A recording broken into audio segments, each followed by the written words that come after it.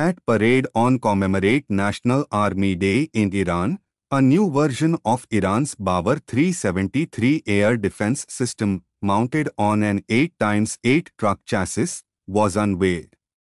The Bavar 373 has the same combat capability as Russia's S-400 air defense system, which can intercept fifth-generation fighter jets such as the American F-35 stealth aircraft.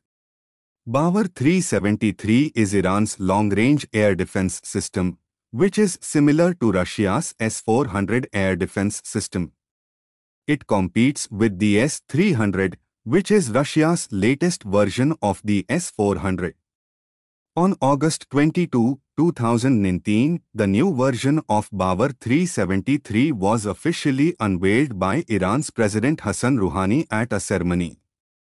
An upgraded version of this system was also unveiled in 2022. Bavar 373, Bavar 3, is a long-range, high-altitude air-to-air missile system that is designed to protect Iran's airspace and strategic assets by detecting, tracking, and intercepting incoming missiles, unmanned aerial vehicles, UAVs, drones, and other aircraft at long range and altitudes.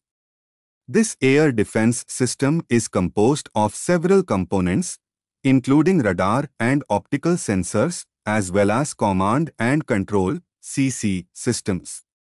Other assets may also be added to the air defense system, including optical sensors and cameras, as well as data link systems to support target detection and tracking. This air defense system is capable of engaging and intercepting incoming UAVs and other aerial targets at long range up to 300 km and altitudes up to 120 km.